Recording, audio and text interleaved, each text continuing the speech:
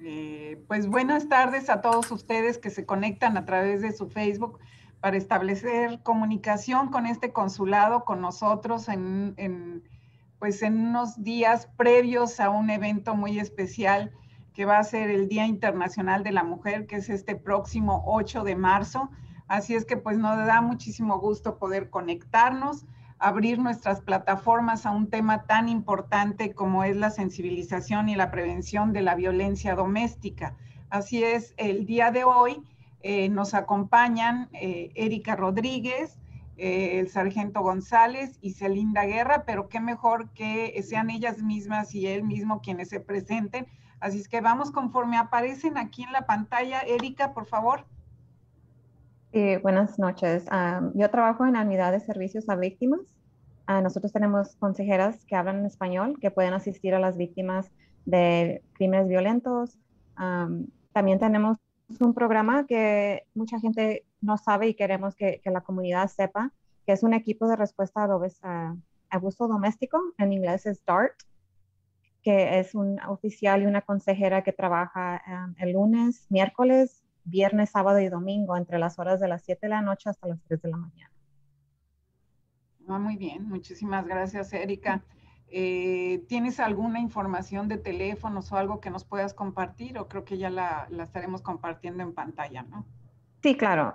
si gustan, el número de nosotros es 713-308-0080. Perfecto. Sargento González, su turno. Ah, Sargento González, del Departamento de Policía de Houston. Trabajo para la Unidad de Violencia Doméstica. Este, yo aquí ah, trabajo con investigadores, uh, cuando ponen un, hacen un reporte de violencia doméstica, viene aquí y nosotros lo atendemos, uh, ponemos un detective para que investigue el caso. Tenemos el, el, número de nosotros aquí, es el 713-308-1100. Y también ya había dado el, el, el hotline del uh, teléfono de, nacional, el 1800-799-7233. Muy bien. Este, pues muchísimas gracias, Sargento. Eh, te toca, Celinda. Muy buenas noches, Consul. Un honor estar aquí eh, con usted y muchísimas gracias por la invitación y la oportunidad de hablar este tema tan importante. Mi nombre es Celinda Guerra, soy la directora de la línea de crisis del Centro de Mujeres del área de Houston. Nosotros ofrecemos servicio directos a las personas que estén desafortunadamente sufriendo violencia familiar que incluye una línea de 24 horas al día que es completamente confidencial a la disposición del público. Aparte de eso, ofrecemos también servicios de consejería, refugio y muchos otros servicios que son tan importantes y esenciales cuando una persona busca la salida en estos casos. Y es muy importante ese de, que la comunidad sepa a quién recurrir en caso de que se encuentre en un caso de, violencia doméstica. Eh, ¿Cuál es el objetivo de la lucha contra el crimen en su, edición 2021? Sargento. Bueno, el, la lucha contra el crimen es un programa que es para, para ah, pasar información sobre medios como lo que estamos haciendo ahorita. Es una campaña de información para prevenir crimen. Ah, es mejor prevenirlo que, tratar de ir a responder cuando ya ha pasado. So, este, este es para educar la, la gente y la eh, lucha contra el crimen eh, es un programa que vino de otro programa que era en inglés, que era March on Crime. Y fue, eh, fue muy bueno el programa que lo hicieron para, en español para, para educar a la gente. No, así es que ya saben, pues bueno, todos los que nos estén escuchando, es un programa que cuenta la policía de aquí de Houston para poder combatir el crimen. Creo que una de las cuestiones que hemos detectado en nuestra comunidad es que muchos miembros de nuestra comunidad tienen temor a acercarse a las autoridades porque de repente dicen, bueno, es que no saben exactamente si es una persona, es un sheriff o un policía o alguien de ICE. Eh, su desconocimiento quizás en ese sentido los hace tener temor a acercarse a la policía, pero para eso estamos haciendo estos programas precisamente para que sepan que el consulado trabaja muy de la mano, en este caso con la policía de Houston, eh, para que eh, puedan y sepan que a través del consulado también pueden venir a contarnos qué es lo que les está sucediendo y que nosotros podamos acompañarlos a hacer la denuncia correspondiente y poder apoyarlos durante el proceso que tengan que llevar. Así es que tengan la seguridad de que con todos los invitados aquí mantenemos una muy estrecha relación para poder este, dar eh, respuesta a sus a sus inquietudes y sobre todo hacer estos reportes de situaciones vinculadas con el crimen que no se queden eh, sin, sin, el, sin, la investigación correspondiente, sin la, el castigo correspondiente, este, porque si no, pues no estamos trabajando ni en beneficio nuestro ni en beneficio de nuestra comunidad. Erika, me comentaban en un principio que había un programa específico que ustedes tenían. ¿Me lo puedes platicar un poco? Sí, claro. tenemos aproximadamente, vamos para tres años que empezó el programa. Nada más teníamos fines de semana que incluye es, eh, un oficial en patrulla con una consejera que trabajamos específicamente para ayudar los, las víctimas de violencia doméstica. la razón por qué tenemos este programa es para asistir a las víctimas, para ir en ese momento que pasó el incidente o, por ejemplo, si ya había hablado antes y nadie ha ido a, a, checar cómo está, qué, recursos le podemos ofrecer para ayudarla. otra cosa también que, que, les podemos ayudar y trabajamos con, con áreas de, de, mujeres y también trabajamos con el sobreviviente em, empoderado, perdón, the Empowered Survivor, que también trabajamos con ellos Em, nos pueden ayudar, por ejemplo, si hay una víctima que necesita un albergue de emergencia, le podemos asistir también para que salga de, su casa si no se siente segura o seguro y llevarlos a un albergue, a una, que, se, que se sientan ellos, que se sientan a, gusto, que no tengan miedo. Que sientan con confianza. correcto. Y, ahora sí, ya, ya abrimos, antes eran los fines de semana nada más, pero ahora ya agregamos más días que ahora también trabajamos el lunes y el miércoles. y mucha de la comunidad no sabe eso. lo, que trabajamos también con los oficiales es que ellos saben que, que estamos en la calle. Si es ah, víctima de violencia doméstica, ellos nos avisan. Nosotros vamos con la víctima y le damos la información y recursos que ellos pueden, ah, que le pueden asistir dependiendo de su caso. Erika, ¿y ustedes llevan algún tipo de uniforme cuando andan en la calle? ¿Cómo se les identifica? Los consejeros usamos una chaqueta que dice Policía de Houston DART, dice um, All Victim Services, Unidad de, de, Víctimas Servicios, para que se identifique. Nosotros, no, las consejeras no usan uniforme. Um, eso también nada ayuda. Más chaqueta. Correcto, correcto. El oficial sí tiene eh, uniforme completo la razón por qué no usamos uniformes también, pues somos civil, pero otra cosa es de que podemos acercarnos más con las víctimas, porque mucha gente, las víctimas tienen miedo de hablar con un oficial en uniforme. Pero cuando está una consejera, el, policía primero checa que la, escena esté, bien, ya nosotros vamos y le preguntamos primero si ellos gustan recibir información de nosotros primero, si ellos dicen que sí, entonces ya hacemos un cuestionario y, averiguamos qué tipo de servicios necesitan y ya nosotros le, damos qué recursos hay para poder ayudar a la víctima. Y eso es muy importante, sobre todo porque esta comunicación que hay entre ustedes y la policía de Houston, yo creo que es necesaria para que la comunidad también sepa que hay gente que puede venir nada más con una chaqueta, pero que al final de cuentas van a seguir el procedimiento apropiado para llegar hacia las autoridades, como es lo que comentaba el sargento González. Celinda, a ustedes en, en, la línea de crisis, ¿qué es lo que más ven? ¿Qué es lo que atienden? ¿Cuál es su función? Lo primordial que hay que comentar es que usualmente la línea de crisis es la primera llamada que muchas veces las sobrevivientes hacen. Entonces, como eh, comentaba Erika, es tan importante entrar en confianza, que ellos se sientan cómodos en expresar lo que, están, lo que están pasando y nosotros les podemos ofrecer ese espacio donde se pueden sentir seguros. Incluso las personas ni siquiera tienen que compartir su nombre si no se sienten cómodos. Eh, pueden simplemente inventar un nombre, decir que no quieren compartir el nombre igualmente les vamos a dar toda la información que busquen para que ellos se sientan más informados a cómo van tomando decisiones en sus casos. Entonces, la línea de crisis, igualmente como eh, los representantes de DART cuando van a, responder alguna llamada, también hacemos un cuestionario para poder identificar el nivel de peligro que estas personas estén, porque es muy, muy importante eh, comentar esto. El nivel de peligro en el que se encuentra una persona es muy importante identificar y saber de qué manera responder. Los planes de seguridad definitivamente sabemos que pueden salvar vidas y es tan importante informar a las personas este, de esto. Entonces, no estamos ahí para decirles qué hacer, no estamos ahí para convencerlas de que tomen cualquier decisión, sino para informarles sobre los servicios que hay disponibles, los recursos que hay disponibles, las leyes que los protegen, para que ellos mismos, los sobrevivientes, sobrevivientes, hagan sus propias decisiones.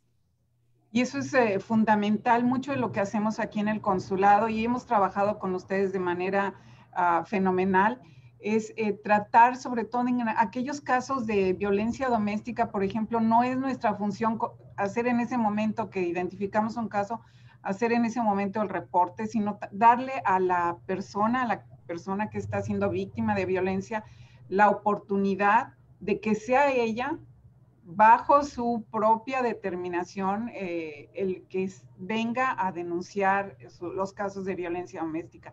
Les puedo decir que en nuestra experiencia hemos tenido casos en los que una persona viene cinco, seis, siete veces y no es quizás sino hasta la octava vez, a veces les toma un poco más de tiempo en estar convencidas de hacer una denuncia. Y cuando lo hacen ante el consulado, pues eh, ellas se sienten seguras de que están en territorio mexicano, ¿no? Pero sobre todo eh, que saben que su información no va a ser compartida por el consulado con ninguna autoridad, pero que van a recibir el acompañamiento para hacer el reporte con las autoridades debidamente capacitadas y que sabemos que pues van a trabajar en interés de la víctima, así como con las organizaciones que también nos dan todo su apoyo. Mucho de ello, por ejemplo, ha sido eh, los casos de albergues, ¿no? Que también tenemos que identificar cuando tenemos una situación, eh, quién nos puede prestar un espacio para alguna mexicana con sus hijos que está en una situación complicada. Y por ello hemos eh, firmado varios MOU, creo que llevamos en el transcurso de este año cerca, no, del año pasado, apenas estamos empezando 2021. llevamos cerca de 7, 8 memorándum de entendimiento firmados con el ánimo de poder eh, presentar eh, opciones para salir de situaciones de violencia. Eh, algo que hemos visto en la pandemia, y todos ustedes lo habrán identificado, especialmente también el área del sargento González, es el incremento en los casos de violencia doméstica. ¿Por qué creen que suceda esto? ¿Cuáles son las situaciones que han identificado o que creen que han identificado, que se que hacen que se detone esta violencia doméstica. Y por el otro lado, si bien han crecido los niveles de violencia doméstica durante la pandemia, han crecido también otro tipo de, situaciones de crimen vinculadas con el crimen, eh, sargento, quizás.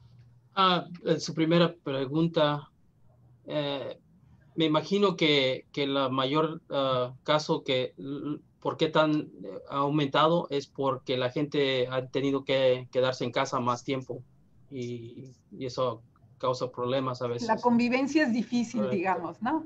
Correcto, pero sí ha, subido mucho, uh, como asalto agravado con lesiones, asalto agravado con armas, estrangulación, ha subido un 28%. El asalto con armas de fuego ha subido un 48%. Eh, y eso ha subido uh, como las muertes. Uh, hubo más de 400 muertes aquí en Houston en el 2020, que es, es un, subió como unos 46% de lo normal que, no normal, pero de lo que había el 19. ¿Y por qué cree que haya subido el número de muertes por arma de fuego? ¿Hubo más compra de armas? Mm, de eso sí no sabría decirle, pero sí podría ser la pandemia, no sabría decirle qué será el exacto caso, pero sí, lo que sí hemos mirado que sí ha subido mucho este año. Es, terrible, ¿no? Y, Erika, en, el trabajo diario que realizan en estas eh, brigadas de fines de semana, ¿qué es lo que más identifican en la comunidad? Porque creo que ya todos estamos como cansados de estar encerrados y buscamos mecanismos para, ¿no? Sacar estas neurosis que a veces se crean del, del, confinamiento. ¿Qué es lo que has identificado tú? Sí, hemos agarrado más casos ahora con que empezó la pandemia, por lo mismo como dijo Sargento González, tenemos casos que, que, perdieron su trabajo y no tienen a dónde irse, no tienen dinero para moverse o otros recursos para que le puedan ayudar.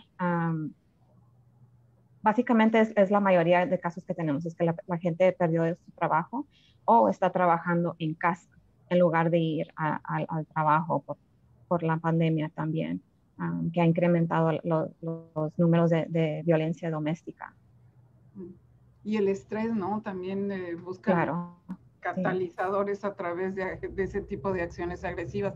Celinda, ¿tú qué, ¿tú qué es lo que has eh, identificado en línea de crisis? Pues definitivamente estamos de acuerdo con lo que hemos escuchado del sargento y de Erika. Vemos casos mucho más fuertes. Nosotros este año pasado recibimos más de 46 mil llamadas a nuestra línea de crisis. Fue un incremento de 6 mil llamadas más. Una de las cosas que identificamos igualmente fue que los casos eran mucho más fuertes. Eh, las personas estaban compartiendo lesiones físicas mucho más graves de lo que usualmente escuchamos. Eh, muchas de las personas que nos llamaban estaban llamando directamente de los hospitales porque habían tenido que ir a buscar atención médica porque los golpes habían sido tan fuertes. Entonces las historias han sido mucho más fuertes en esos casos. Eh, hablamos de también, por ejemplo, todo lo que puede contribuir a esos estreses, el hecho de que pues estamos más encerrados eh, en cuestión del estrés económico, pero ojo, hay que identificar que son factores contribuyentes, pero más sin embargo no una excusa. Es importante aún así, de todas maneras, recordar que hay que poner la responsabilidad donde cae y eso es la persona que escoge, en este caso, este, provocar la violencia. Entonces, solamente quería este, mantener ese punto porque sabemos que la pandemia ha causado muchos factores estresantes, que es la razón por la que hemos visto un incremento, pero sí hay de todas maneras que eh, recordar que todavía esas personas tienen la opción de ser violentos o no serlo, y en este caso vemos que lo son. Y desafortunadamente sí, sí lo ha afectado, definitivamente estamos viendo casos más fuertes, personas que están buscando salir de sus hogares más que nunca eh, en sí es muy difícil encontrar refugio muchas veces en nuestra ciudad porque la necesidad es tan alta.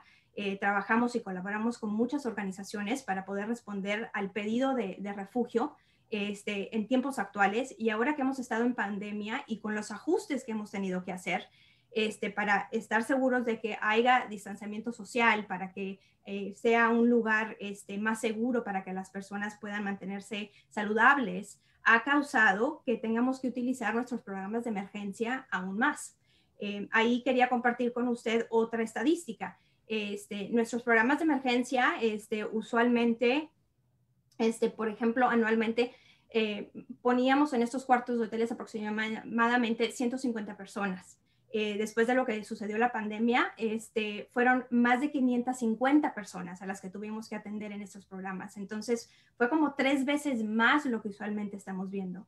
So, definitivamente sabemos que esta pandemia eh, ha afectado la violencia doméstica, que es muy importante más que nunca informar al público sobre qué significa el abuso eh, para aquellas personas que quizás todavía no identifiquen si es o no es. Eh, los recursos que hay disponibles para que sepan que no tienen que quedarse en esa situación si escogen no hacerlo, eh, las leyes que los protegen. Para nuestros paisanos es tan importante saber si es legal o no es legal, o qué me protege o qué no me protege y poder darles esa información. Definitivamente, creo que lo que acabas de mencionar es muy importante. La, la, la reacción violenta no, no se justifica de ninguna manera, ¿no? Es una opción la gente que se encuentre en una situación de estrés, que crea que ya, que no sabe cómo canalizar su, su, su, enojo, sus emociones, pues que se siente un poco, que cuente hasta 10, que deje pasar un momento y entonces las cosas se ven diferente en lugar de reaccionar, como dicen en México, a bote pronto, ¿no? De manera inmediata creo que algo que, tenemos que tener muy presente es que quien no tiene el poder de la palabra, quien no sabe utilizar las palabras de manera adecuada es aquella que recurre a la, a la violencia.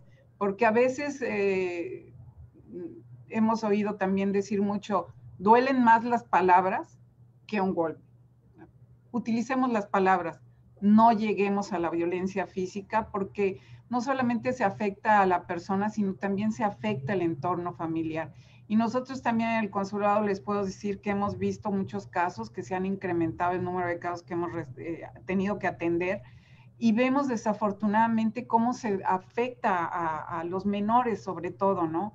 Una situación de violencia intrafamiliar deja una huella muy fuerte en los, en los chiquitos que, que tienen que recibir forzosamente una atención psicológica para poder canalizar también sus emociones, para que no se repitan estos cuadros de violencia. Entonces, insistamos eh, y le insistimos a todas las personas que nos están viendo, por favor, cuando sepan de alguna persona que se encuentra en una situación de violencia, canalícenlas a través de las organizaciones que se dedican a este tema, pero también si son mexicanos, canalícenlos al consulado. Aquí tenemos todo el tipo de ayuda que puedan requerir porque el gobierno mexicano adoptó la política exterior feminista desde 2019.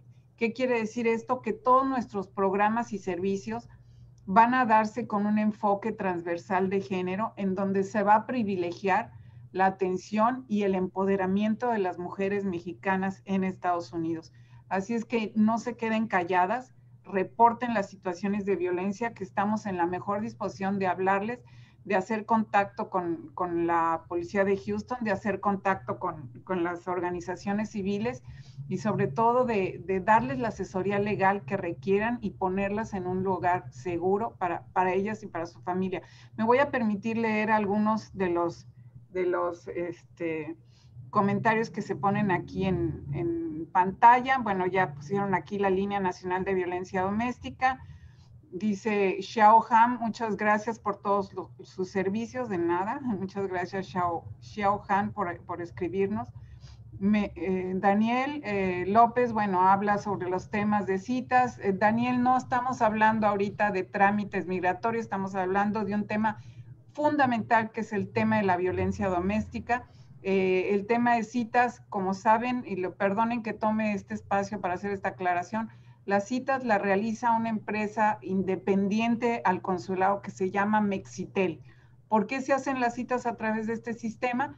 Para fortalecer la transparencia y combatir la corrupción. Así es que, por favor, contacten Mexitel vía teléfono, vía electrónica, bajen la aplicación Mi Consulmex, ahí pueden también hacer su, cita o eh, también bajen, entren a nuestra página y ahí encontrarán el link de Mexitel. Eh, paso a los siguientes comentarios. Eh, dice Luz Cetino, que no sean criminales, si no soportan la vida, busquen ayuda, por favor no arruinen la vida de los demás, creo eh, relacionada con la, con la, violencia que se ejerce hacia otra persona. Bueno, dice Luz Cetino, también en este país no es como en otros, aquí uno tiene quien lo defienda bueno, tenemos aquí a la presencia de, del sargento González, de Erika Rodríguez y de Celinda que nos están dando información para saber cómo actuar. Eh, y Beth Rojas, yo agradezco la ayuda al consulado. Mi hijo fue víctima de crimen y me ayudaron y orientaron. Qué bueno, y Beth, pasa la voz porque así como pudimos ayudar a tu hijo, podemos ayudar a muchos más. Eh, Gloria María Aguilar Lomas, yo fui víctima de violencia y aprendí a inmediatamente hablar a la policía y levantar un reporte. Ahorita hablamos de los reportes. Hay un teléfono de la policía donde ellos ayudan y es confidencial. No tengan miedo a hablar a la policía. Algo muy importante que siempre queremos resaltar es en los casos de mujeres migrantes víctimas de violencia, cuando hacen el reporte a la policía, también ese reporte es utilizado para seguir el procedimiento, ya sea para una visa BAGUA o una visa U. Eh, sargento, ¿cómo es este reporte? ¿A dónde deben de acudir? ¿De qué es lo que no deben de tener miedo cuando vayan a hacer un reporte? Bueno, Erika a lo mejor es está más, ah, sabe más de, las, de la visa, pero reportes, ah, haciendo reporte de policía, pueden ir a cualquier estación, pueden llamar, el, marcar el 911. también tenemos nuestro teléfono que donde pueden marcar es 713-884-3131. Este, y puede ir una patrulla a su casa, pueden ir a la estación más cerca. Hay varias estaciones en la ciudad de Houston donde pueden hacer el reporte. Ahora mm, pueden hacer el reporte y al mismo tiempo pueden hablar con, con ah, los, los ah, ¿cómo se llama? El, uh, Victim Services, donde trabaja Erika, y ellos son los que les van a dar la información de la visa, de la U visa. Eh, perdón, Erika, si nos pudieras hablar un poquito de estas diferencias entre la visa U y la visa VAWA. Sí, claro. La visa VAWA, uh, eso no, la, policía del departamento de Houston no, no trabaja haciendo la, visa VAWA. nosotros sí, sí trabajamos para ayudarles a agarrar la certificación de la visa U y también tenemos la visa T. la visa U es un permiso de trabajo que se le acude a, un, a la víctima de, de, un crimen violento lo que sí requerimos es que por favor la víctima coopere con la policía. si hace el reporte, también incluye que, que, presentan cargos contra, contra el, el, sospechoso. a veces también piensan porque, oh, porque no lo arrestaron, no voy a calificar. Es caso por caso, hay, calificaciones también que pueden aplicar. Violencia doméstica sí califica para la visa U. Ah, y tenemos una oficial, Diana Montalvo, que habla en español, que ella le puede ayudar también con el proceso para la certificación que, hacemos nosotros. es muy importante, como le dije, que cooperen si nosotros, que ponga toda la información corriente, por ejemplo, si es normal, si se va a cambiar o si va a cambiar de, número de teléfono, que por favor con, contacta al, puede contactarnos a nosotros o al oficial investigador que, está sobre su caso para poner todo corriente su información, por si acaso tenemos que hablarle o agregar algo al, al, reporte, podemos comunicarnos con la persona. Um, eso es lo más importante que siempre le pedimos a, las víctimas que quieren aplicar es que cooperen con nosotros para poder ayudarles ellos en el proceso de la certificación de la visa. Eso es, eso es muy importante. Eh, creo entender, eh, Erika, la visa U y la visa VAGUA es para aquellas eh, personas víctimas de violencia doméstica, pero depende de quién ejerza la violencia doméstica, si es un nacional de Estados Unidos o si es un nacional de otro país y la visa T viene a ser la visa para aquellas personas o aquellas que son víctimas de trata de personas, ¿no? Correcto. La trata de personas puede ser ejercida por, por ah, alguien que obligue a otra persona a ejercer actividades sexuales en contra de su voluntad o a realizar trabajos también en contra de su voluntad o de explotación laboral. Así es que cualquier persona que se siente en una, una situación de violencia doméstica, independientemente de que sea ejercida por un nacional de Estados Unidos o por un mexicano, que se acerquen al consulado. También si se creen que están en una situación de tráfico, de, de trata de personas, perdón, que también se pongan en contacto con ustedes para ayudarles en el proceso. La certificación es el primer paso para empezar cualquier trámite legal ante un abogado es eh, también importante destacar que eh, lo que decías, eh, debe de haber una colaboración con las autoridades. Este tipo de visas no nada más es, ya fui al deporte, ah, hice el reporte, pero no voy a colaborar. Al contrario, se da este tipo de visas porque ayudan a las autoridades a detener a estos infractores para que esos delitos no queden impunes. Entonces es una colaboración en dos sentidos. Ellos colaboran para detener a una persona que puede, y esta persona es detenida porque genera acciones en contra del bien público y del interés eh, general de la comunidad, ¿no? Eh, Celina, ¿cómo, ¿cómo hacen ustedes para identificar los casos de violencia doméstica? Como dice, se han incrementado de, de manera exponencial. ¿Cómo puede una persona identificar si es víctima de violencia? Claro que sí, pues la, mayoría del tiempo cuando pensamos de violencia doméstica automáticamente pensamos que es eh, abuso físico, que, que es lo que más se le viene a la mente a las personas. Sin embargo, existen muchos tipos de abusos que es importante reconocer. Entonces, para aquellas personas que, que duden si quizás es, es normal o parte de una relación, es importante este, informarles de que existen otros tipos de abuso. Y cuando hablamos de abuso físico, muchas veces también buscamos, por ejemplo, el abuso físico que deja algún tipo de marca. Pero el simple hecho de que tu pareja te empuje, que te jalonee, que te estire el cabello, eh, cualquier tipo de maltrato, aunque no deje marca, aún así se considera abuso físico. Ahora, muy importante mencionar que también muchas veces estos abusadores saben exactamente lo que están haciendo y muchas veces dejan marcas en áreas del cuerpo donde no son visibles. Eh, entonces, una vez más, el hecho de que no necesariamente veamos en una persona que, existe algún tipo de indicación física, que hay algún tipo de golpe, no necesariamente quiere decir que, no exista. Eh, aparte de eso, el apoyo, el abuso este, emocional. Muchas veces este, no le damos la importancia, mas sin embargo es algo que afecta tanto a la salud mental, emocionalmente es, es algo que de verdad tiene un impacto en las personas. Hablábamos de, también de los niños y cómo les afecta a ellos también el ser testigos de esta violencia. Entonces, el, el, abuso emocional es algo que también afecta mucho a las personas. El hecho de que tu pareja te ofenda, te manipule, te haga sentir mal, eso también es abuso verbal. No es normal que te hablen con, con falta de respeto, con malas palabras, que te ofendan, que te hagan sentir menos o mal. Eh, todo eso también es abuso verbal. Continuamos también con el abuso económico. El hecho de que tu pareja no te diga la cantidad de dinero que tienen como pareja, que no tengas acceso a tus cuentas, que te requiera de que le des todo el dinero que quizás tú ganas personalmente y que se lo dé, él tenga el control de ese dinero, el hecho que te dé solamente para lo, para lo esencial y a veces ni es suficiente, eso también se identifica como abuso económico también. Después también es el abuso este, sexual.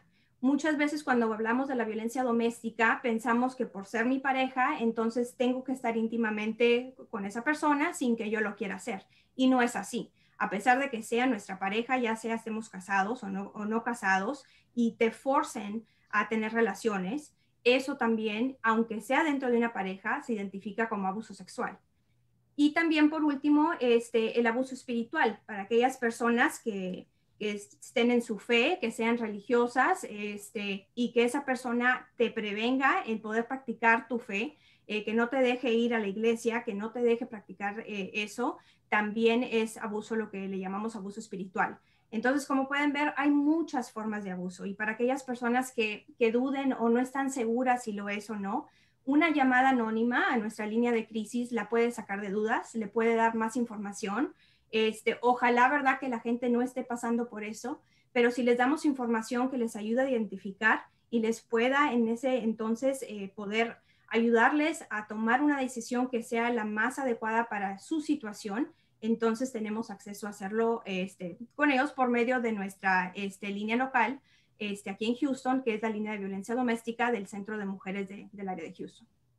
Creo que lo que acabas de mencionar, Celinda, es muy, muy importante. Eh, el Consulado de México ha insistido en que la violencia doméstica tiene diversas formas de manifestarse. Una, uno de los eh, trabajos que hacemos aquí en el consulado es difundir lo que, lo que hemos dado a llamar nuestro violentómetro, no sé si se ve en pantalla, eh, brilla aquí por la luz, pero bueno, más o menos es este, es como una pequeña regla y empieza con los grados más leves de violencia hasta llegar a la mutilación o el asesinato. Les quiero referir nada más a algunos de los ejemplos de, violencia, por ejemplo, las bromas hirientes que mencionabas.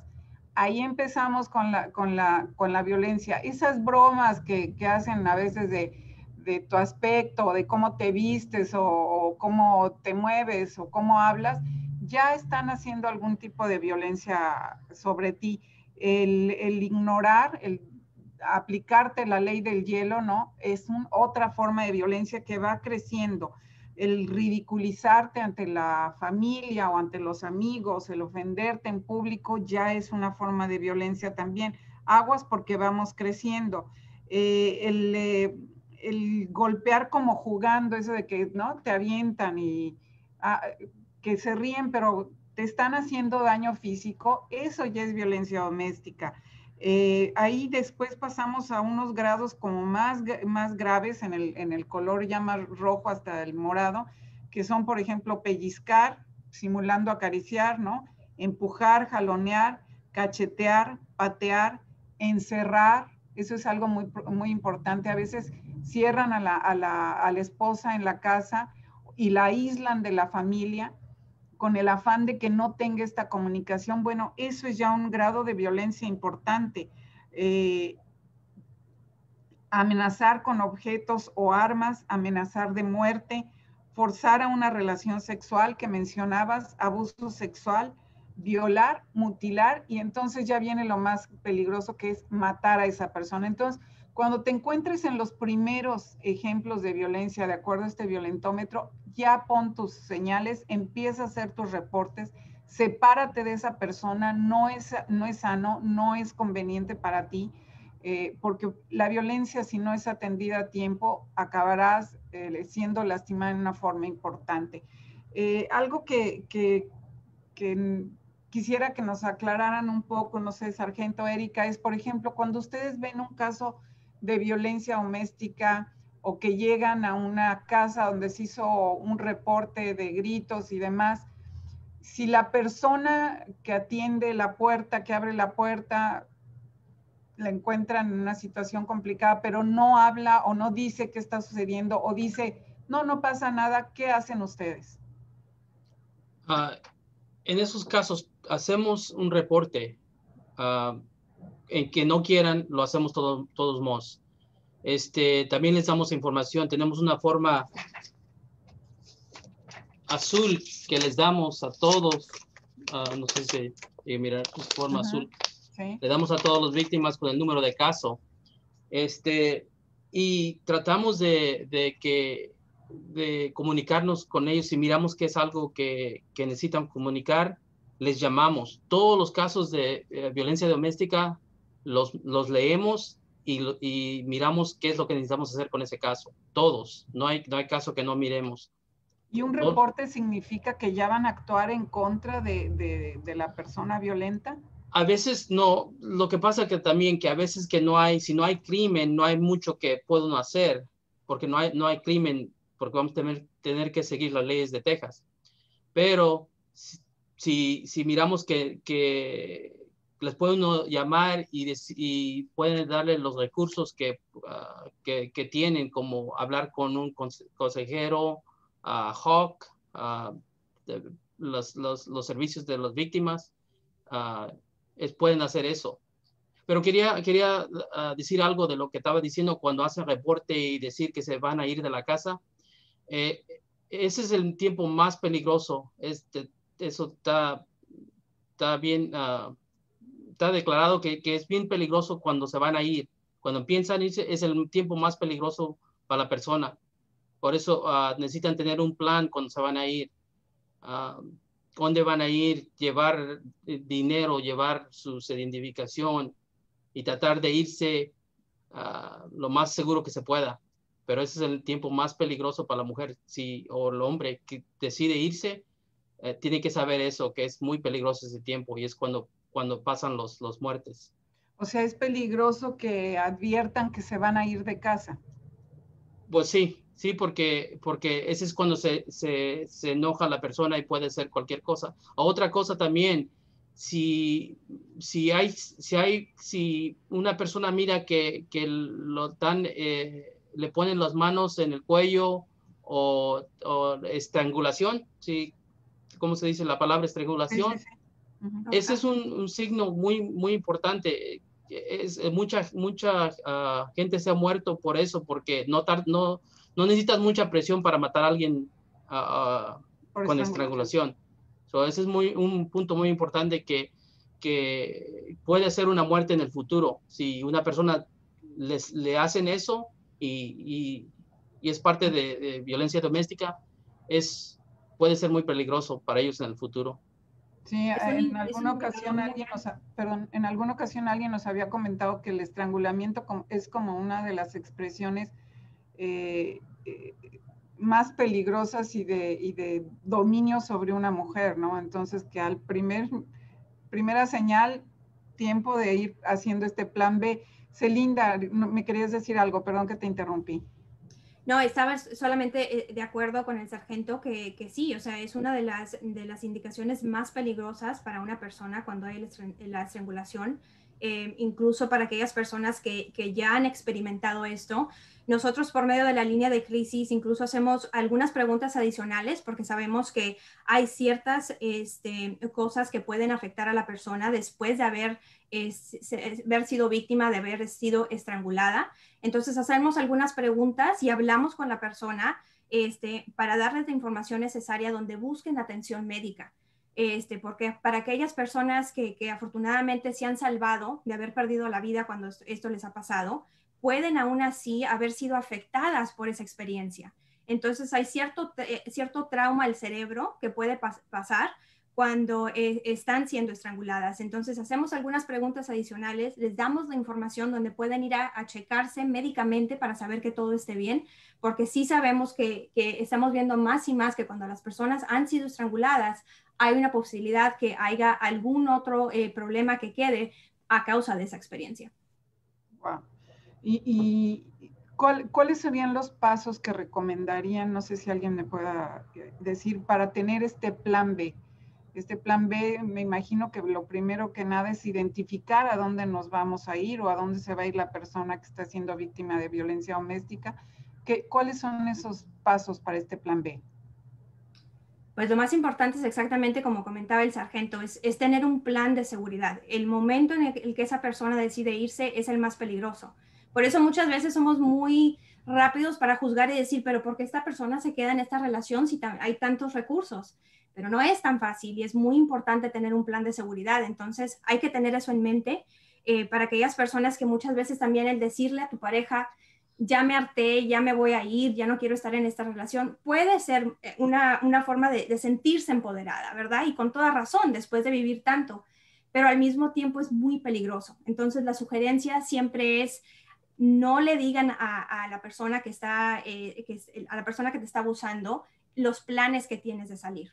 Eh, no, no, no empieces a empacar para darles indicación que tienes planes de salir tampoco. Es muy importante hacerlo durante un momento donde esa persona no esté presente, el tener un plan de seguridad establecido cuando sea un momento este, seguro. Entonces, por ejemplo, eh, si, vas a, si miras que, que, no va a haber mucho tiempo ese día de salir, a lo mejor lo más este, recomendable es quedarse hasta mañana cuando se, vaya quizás al trabajo o cuando vaya a salir de la casa para, para buscar un momento donde sea lo mejor, porque si de repente tú sales y esa persona llega y te mira salir, te estás poniendo en una situación muy peligrosa. Entonces queremos evitar eso dándoles a las personas planes de seguridad. Y muchas personas estarán preguntando, pero ¿qué es eso? ¿Cómo que tengo que buscar o qué tengo que hacer?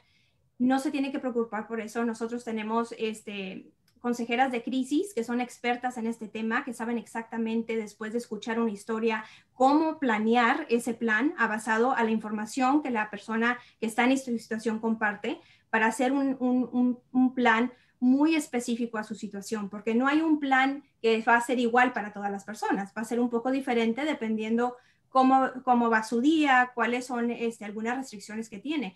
Comentaba Cónsul anteriormente que, por ejemplo, hay personas que las tienen al 100% encerradas. Es casi imposible salir.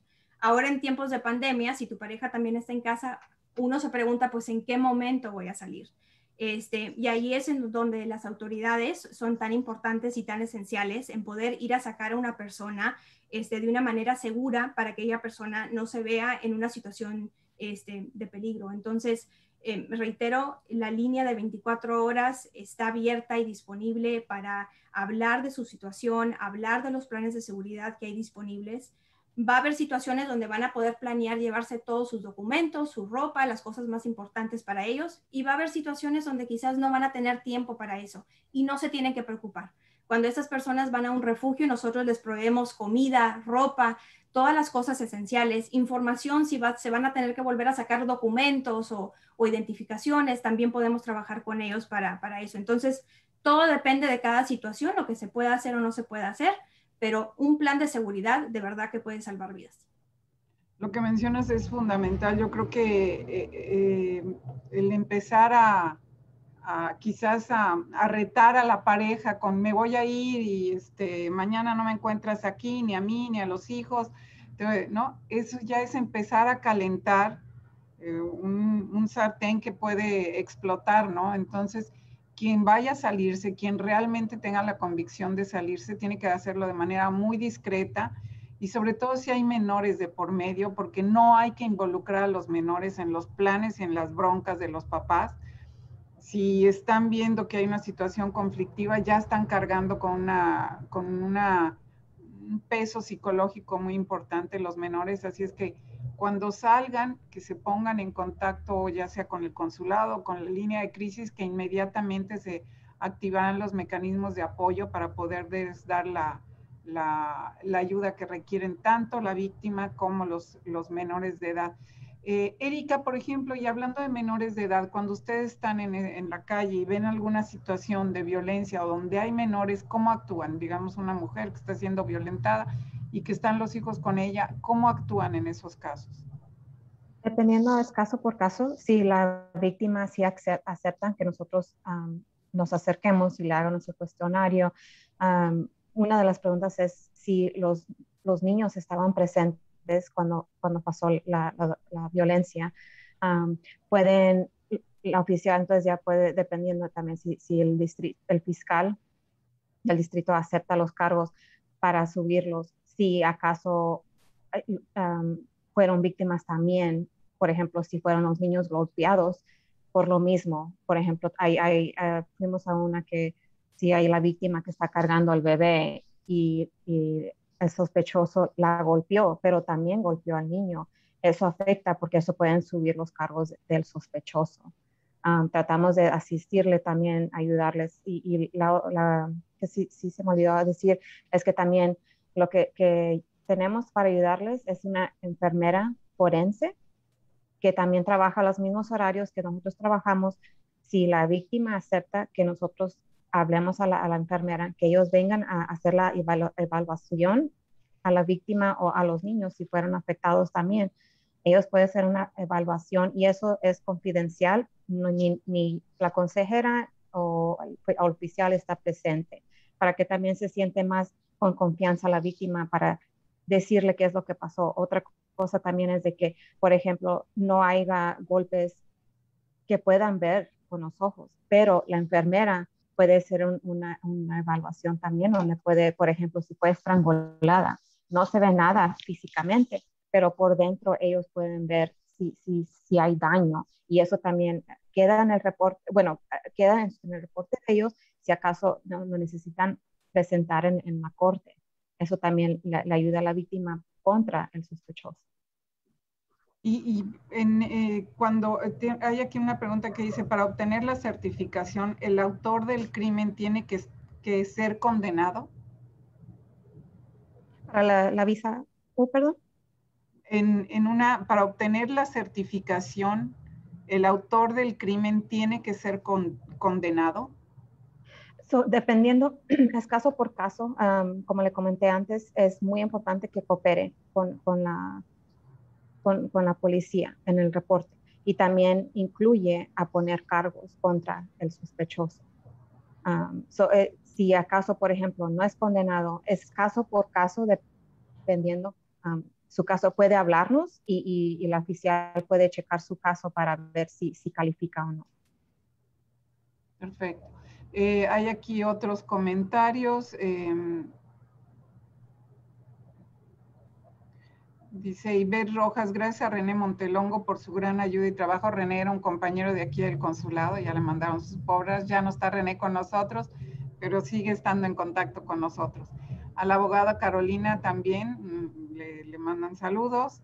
Eh, ponemos ahí los teléfonos del consulado para todos los aquellos que quieran ponerse en contacto con nosotros. Irma Lugo dice, gracias por decir que la culpa la tiene el abusador la violencia nunca es la respuesta. Desafortunadamente los niños son, son bastante afectados. Pues sí, creo que ahí el compromiso de todos es cuidar sobre todo la salud mental de los menores, ¿no? Y la salud en general de los menores. Em, Liz Gómez, no puede hacer una cita, comunícate a Mexitel, visita nuestra página web. Eh, Froilán, muchas gracias por la información siempre puntual. Dice, y Elia Arisa dice, ¿y por qué cuando se denuncia un abuso o abusador no lo encuentran culpable? Será un caso muy concreto, pero no habrá habido los elementos suficientes para probar el abuso, ¿puede ser? ¿Alguien que me pueda responder? Depende, hay muchas cosas que pueden depender de si sale culpable o no sale. Depende de qué abogado tenga, de qué pruebas haya, Ah, hay muchas cosas. ¿Quién tomó el reporte? ¿Qué le pusieron en el reporte? ¿Qué no le pusieron en el reporte? Eh, eh, demasiadas cosas. Cada caso es diferente. Puede ser el mismo crimen, pero cada caso es diferente. Pero ah, una, cosa que... perdón, Una cosa que quería decir. Uh, la violencia, eh, violencia doméstica se le puede ocurrir a cualquiera, puede ser hombre, puede ser mujer. Y la única cosa es que si eres víctima de violencia doméstica no es tu culpa, eh, pero sí te tienes que tratar de ayudar y ah, reportarlo. Okay. Uh, y otra cosa también, si eres víctima o testigo, eh, no vamos a preguntarte qué es tu estatus migratorio. Mm, no, no se tiene que preocupar por eso. Eso es básico, ¿no? El estatus migratorio no importa para hacer la denuncia de violencia doméstica. Y eh, como bien señala sargento, cada caso es muy específico. No es que todos los abusadores salgan porque no se los encuentra culpables, porque Elisa Araiza dice, ¿por qué los abusadores no los encuentran culpables aún denunciando? Me imagino que debe ser un caso muy específico, pero como decía el sargento, hay que eh, asesorarse muy bien con los abogados apropiados y por eso el Consulado de México trabaja muy de cerca con organizaciones que tienen abogados pro bono y también el propio consulado tiene un grupo de abogados de reconocida credibilidad para que puedan asesorarles en aquellos casos de violencia doméstica. Así es que acérquense a fuentes confiables que les pueden dar este tipo de ayuda y este tipo de apoyo para que el caso tenga la sustentación necesaria para que pueda eh, llevarse a juicio a los, a las, a los agresores. Eh, Rodrigo Arias, gracias, cónsul, por siempre acercar a toda la población latina información importante. No, al contrario, gracias, Rodrigo, por estar en contacto con nosotros. Ceci Barra, gracias por su información acudan a su consulado más cercano, no están solos. Existe la ventanilla de atención integral a la mujer, así es.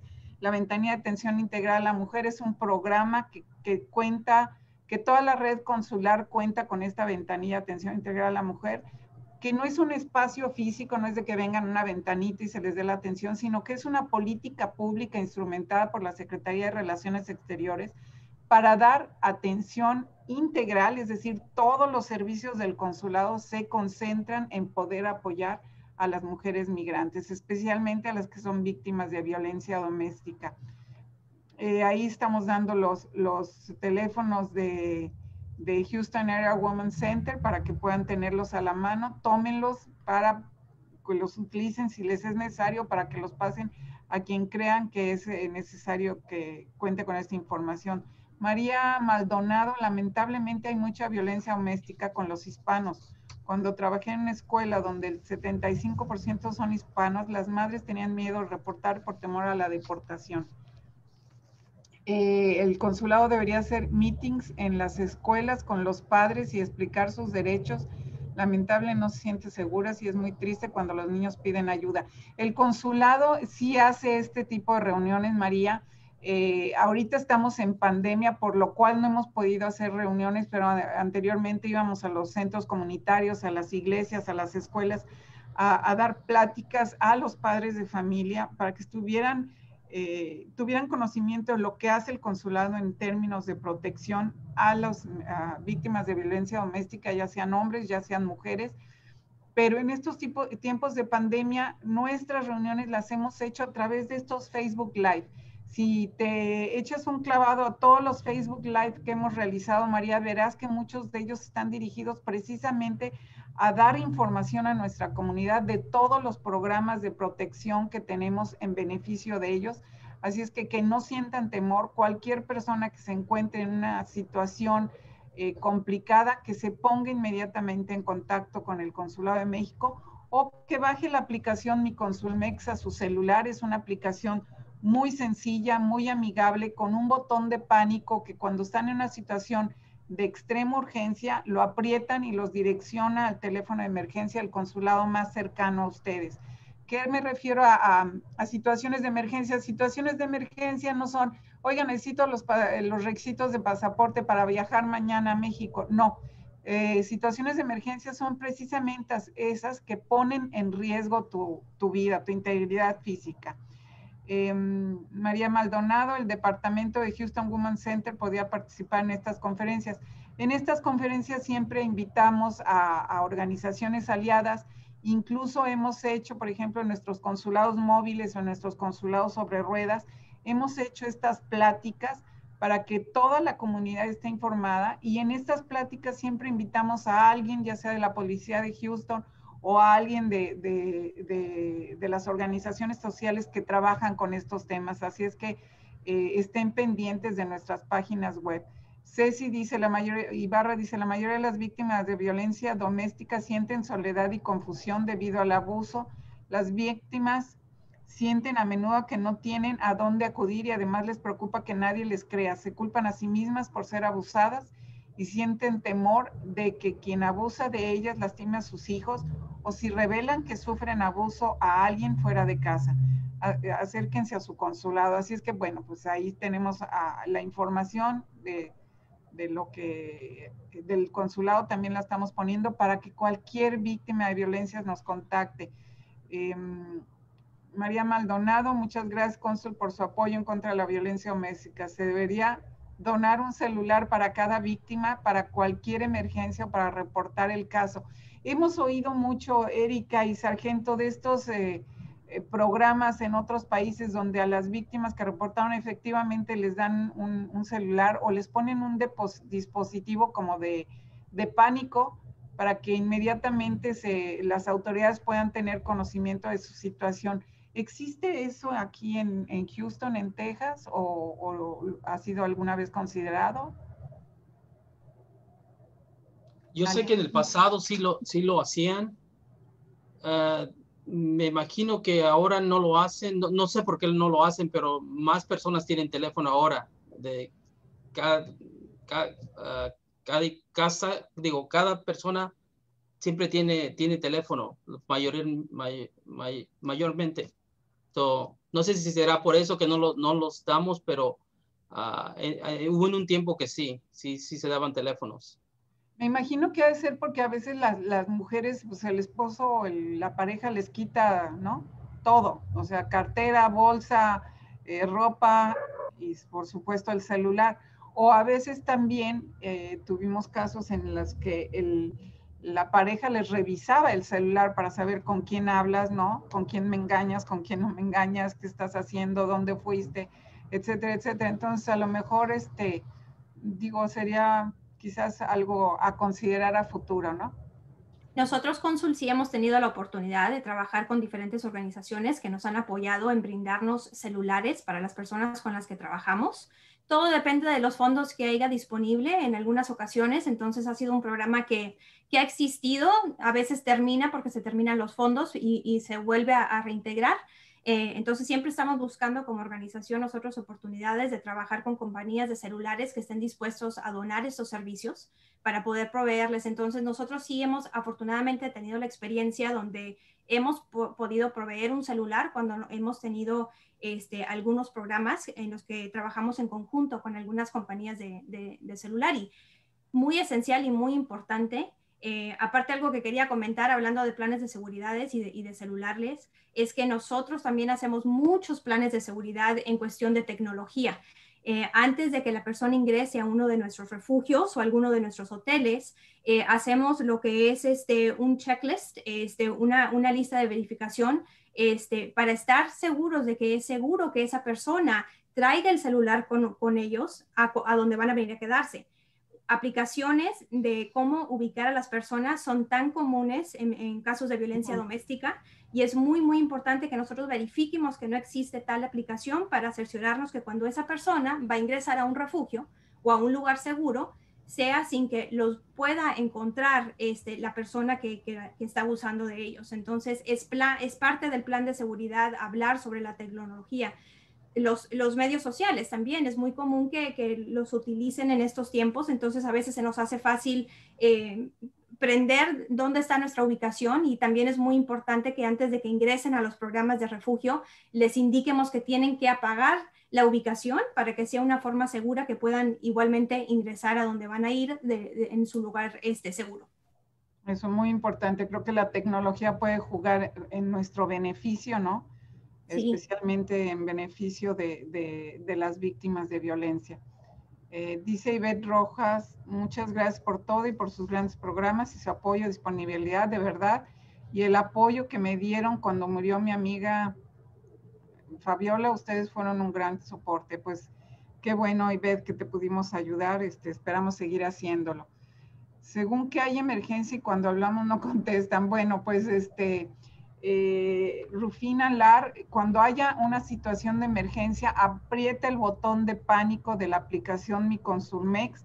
Si no te contestaron, dime la fecha, el lugar y la hora cuando no te contestaron para poder hacer el reporte correspondiente al sistema, en, el sistema que en ese momento quizás no funcionó, no debería de fallar porque es precisamente para casos de emergencia, ¿no? Eh, tenemos este, algunos comentarios. Dice María Maldonado, me gustaría ser voluntaria del departamento de Woman Center y poder apoyar a nuestra gente. Es muy importante tener el teléfono del departamento de Woman Center. Bueno, lo vamos a poner aquí en, nuestro, en, nuestra, en nuestra pantalla y para que todos pues tengan contacto con, con las organizaciones. También pueden ir a nuestra página web e identificar las organizaciones con las que trabaja el consulado en estos días de crisis también hemos visto muchas organizaciones que, y ustedes lo hemos comentado con, la policía de Houston y con las organizaciones también, muchas organizaciones que dicen, eh, no sé, protectoras de los migrantes, ¿no? Eh, eh, unidos en defensa de los migrantes, cosas así, que el última, la última intención que tienen es precisamente apoyar a los migrantes, sino que más bien lo que buscan es sacar beneficio de ellos para sus intereses particulares. Así es que, por favor, consulten la página web del consulado para que sepan qué organizaciones eh, son con las que trabaja el consulado y que conozcan, ahí ponemos el link de sus páginas, para que vean que son organizaciones debidamente constituidas, que tienen los recursos para apoyar, que realmente lo que hacen no es pedirle nada a, a las personas que se contacten con ellos, sino al contrario, ofrecen servicios sin pedir nada a cambio. Creo que es eso fundamental para que sigamos trabajando juntos. Y pues bueno, ya se nos llegó el tiempo, eh, no me queda más que agradecerles, Sargento González, el que siempre esté con nosotros dispuesto a participar en nuestros eventos, Erika Rodríguez, nos encantaría poder ya después tener este también cuando lo podemos hacer de manera presencial, pues que vinieran aquí para que la gente identifique estos, estos chalecos que dices y que nos puedan dar una plática de lo que hacen.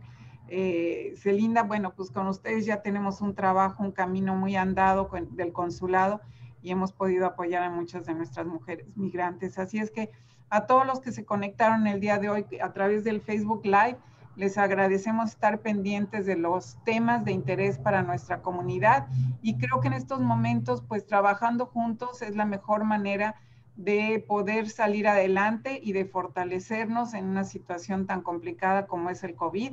Eh, no dejen de estar atentos a nuestros anuncios. El próximo 6 de marzo vamos a llevar a cabo la primera jornada de vacunación contra el COVID aquí en nuestras instalaciones eh, ya se hicieron los preregistros necesarios, eh, que hay que, esto se tiene que hacer de una manera muy ordenada y con un seguimiento muy puntual por parte de las autoridades de salud. Así es que se puso a disposición de toda la comunidad en nuestras redes un link para que hicieran su preregistro, donde se señalaba la hora en la, que, en la que vendrán a su cita. Estén muy pendientes del teléfono celular que eh, pusieron en el preregistro, porque les estarán hablando para confirmar la hora en la que van a poder venir a aplicarse su, su vacuna COVID. Otra de las cosas que les quiero informar es que esta no va a ser la primera ocasión sino también estamos eh, organizando otra segunda jornada de vacunas COVID en el consulado para mediados de marzo más o menos. Y todas estas vacunas eh, eh, están organizadas de tal manera que la segunda toma también esté programada. Así es que estén al pendiente de nuestras redes sociales. Y pues bueno, agradecerles a todos ustedes que nos hayan acompañado. Gracias, Sargento. Gracias, Erika. Gracias, Elinda. Estaremos en contacto y pues bueno, que hagámonos fuertes, cuidémonos del COVID, usen la mascarilla, de verdad, úsenla, protege mucho, sigan las recomendaciones de los científicos, que son los que saben que la mejor manera de protegernos ahorita es utilizando la mascarilla y si la pueden utilizar doble, qué mejor. Gracias a todos y hasta luego. Muchas gracias. Gracias. Gracias. Muchísimas gracias.